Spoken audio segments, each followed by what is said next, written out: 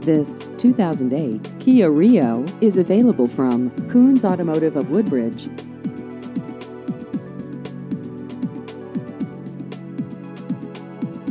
This vehicle has just over 46,000 miles.